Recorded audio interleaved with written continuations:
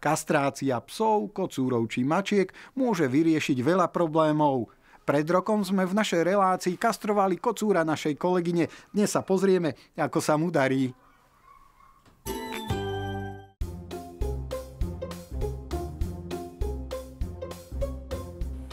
Mačky a kocúre po sterilizácii a kastrácii majú tendenciu príjmať viacej potravy, ako príjmali predtým. Preto je nutné upraviť tú potravu tak, aby jednak jej mohli prijať po prípade aj viacej, ale aby spolu s väčším objemom potravy prijali menšie množstvo energie ako doteraz. Sterilizovaná mačka potrebuje približne o 30% menej energie ako nesterilizovaná. Dneska tu máme dvoch kocúrikov. Jeden prešiel kastráciou už minulý rok, Takže sa na neho pozrieme, ako sa mu darí. Tento kocúrik žije vonku, má teda dostatok pohybu. Pani majiteľka ho nekrmi striktne dietou pre kastrované kocúry, ale i napriek tomu tie tukové zásoby ešte nie sú na úrovni obezity. Má iba takú miernu nadváhu. Tým, že tento kocúrik žije vonku, tak si pomáha tým, že tú energiu musí vydávať a teda aj to nie úplne striktné správne krmenie e, sa nepodpisuje zatiaľ na jeho zdravotnom stave. Samozrejme je aj mladúčky, čím bude starší, týmto riziko obezity bude u neho vyššie. Na tomto obrázku môžeme vidieť, ako sa posudzuje vyživný stav mačky. Takže e, tam je veľmi dôležité sa vyvarovať teda týmto posledným dvom vzhľadom. E, vždycky sa to posudzuje jak z boku, tak z vrchu. A u tej mačky, ktorá trpí obezitou, si teda môžeme všimnúť, že na spodu brucha sa jej vytvorí taký lalok, ako keby, tam je uložený tuk.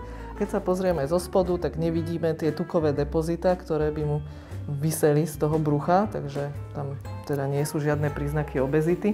A takisto pri pohľade z hora je to telo ešte takého rovného tvaru, ešte nemá vzhľad takej guličky. Eh, obezná mačka príjma málo tekutín, zahusťuje sa jej moč a tým pádom sa tam hromadí väčšie množstvo kryštálikov a tieto kryštáliky nakoniec môžu upchať močové cesty alebo vyvolávať eh, infekcie močových ciest a následne majú naozaj problém s močením a môže dojsť až k ohrozeniu života. Preto opäť je veľmi dôležitá správna strava pre mm, tie zvieratá, ktoré sú po tej eh, kastrácii alebo sterilizácii. Na tomto obrázku napríklad môžeme vidieť porovnanie granulí, ktoré majú rovnaký kalorický obsah, ale ten objem, ktoré, e, ktorý je nutný, aby ho mačka zjedla, je oveľa vyšší. Tam je veľmi dôležitý teda ten poznatok, že mačka, ktorá je po sterilizácii alebo kastrácii, e, potrebuje e, riadne zasytiť ten organizmus, takže dávame jej ako keby veľký objem do toho krmiva, ktorý obsahuje ale rovnako energie ako dieta, ktorá napríklad nie je určená pre sterilizované. Takže ten organizmus je ako keby skôr zasítený z väčšieho množstva a nemá potom tendenciu vyhľadávať nejaké ďalšie jedlo alebo žobrať od majiteľov. Tento kocúrik tým, že je vykastrovaný, tak sa drží iba pri dome, netrpí nejakými zraneniami, ktoré by mu spôsobovali iné mačičky, takže nezažíva žiadne konflikty. U tých kocúrov, ktoré nie sú kastrované, veľmi často vidíme rôzne jazvy v oblasti hlavy a uši po prekonaných bitkách, takže tento je bez akýchkoľvek zjazvení. Potom tu máme druhého kocúrika. Tento kocúrik je mladý, tento nemá ešte ani jeden rok. Kocúrik e, čaká ešte len na svoju kastráciu, e, trpí ešte chronickým ochorením horných ciest dýchacích, ktoré spôsobujú herpes vírusy alebo kalici vírusy. Sú to všetko infekcie, ktoré si tie mačiatka často prinášajú buď už od mamy, alebo teda z toho pôvodného vrhu. A pokiaľ nemajú rozvinutú dobrú ešte imunitu, tak sa u nich v rôznej forme alebo rôznej intenzite môžu prejavovať. A práve to je problém tých mačiatok, ktoré sa rodia mačkám, ktoré majú v podstate veľké množstvo vrhov, veľké množstvo nápadníkov, že tieto mačiatka trpia potom takýmito infekciami a trvá mesiace a niekedy aj roky, kým sa z toho úplne dostanú. Tento tigrovaný kocúrik e, v podstate minulý rok pred kastráciou bol v približne rovnakom veku ako tento.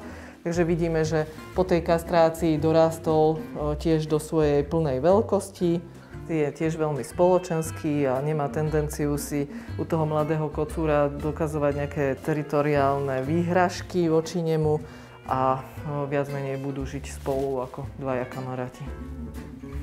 Tieto kocúriky neboli odčervené, takže my ich ešte teraz odčervíme.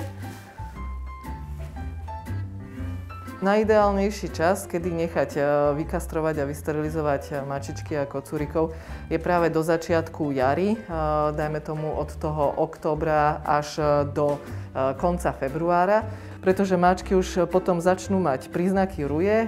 U tých kocúrov samozrejme tam potom nastáva ten problém, že sa kocúr už nevyskytuje doma vtedy, kedy majiteľ by čakal, že sa vyskytuje doma, takže odchyt kocúra, ktorý už stopuje nejakú partnerku, môže byť trošičku zložitejší pretože kľudne môže byť, že aj týždeň sa nevráti domov. Takže pokiaľ sa zdržiavajú doma všetko je stále ešte v kľude, netrpia žiadnymi prejavmi infekčných ochorení, tak uh, treba vtedy pristúpiť uh, k tomu, aby sa vykastrovali, vysterilizovali. A tuto môžeme vidieť na takom obrázku, uh, aká veľmi rýchla je tá reprodukčná schopnosť mačiek.